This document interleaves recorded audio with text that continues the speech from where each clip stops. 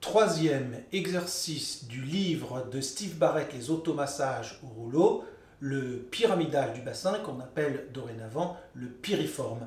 Alors le piriforme est un muscle de la région des fessiers qui est très important et qui est souvent en souffrance parce que notre région des muscles fessiers n'est pas du tout adaptée, nous ne sommes pas adaptés à la position assis sur une chaise. Notre corps est conçu par des milliers d'années d'évolution pour courir, sauter, grimper, s'accroupir, mais certainement pas pour rester des heures par jour sur une chaise. Et ça va être la cause de difficultés au niveau du dos, cette position assise sur la chaise, de douleurs de dos, mais aussi de douleurs de sciatique.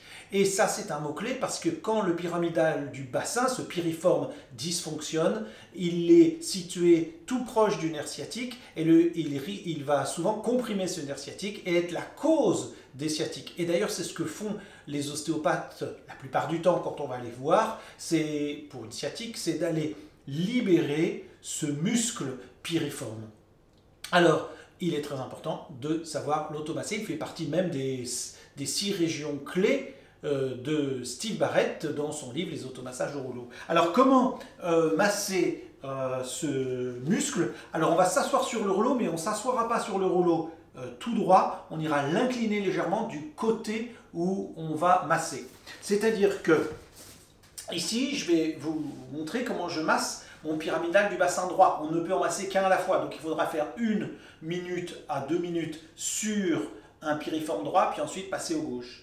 Euh, je vous recommande de faire les deux côtés, même si vous n'avez des douleurs que d'un côté, il est toujours important d'apprendre à équilibrer son corps bilatéralement. Donc ce que je vais faire, c'est que je vais incliner légèrement le rouleau vers la droite, puisque je vais masser à droite. Je vais fléchir ma jambe, approcher l'autre jambe tout près, et puis prendre appui avec mes mains derrière, et puis tout simplement faire des allers-retours. Alors, entre euh, la région de l'épine iliaque et la région du fémur. C'est là que ça va être intéressant. Et penchez-vous bien de ce côté-là pour libérer les tensions. Donc, des allers-retours.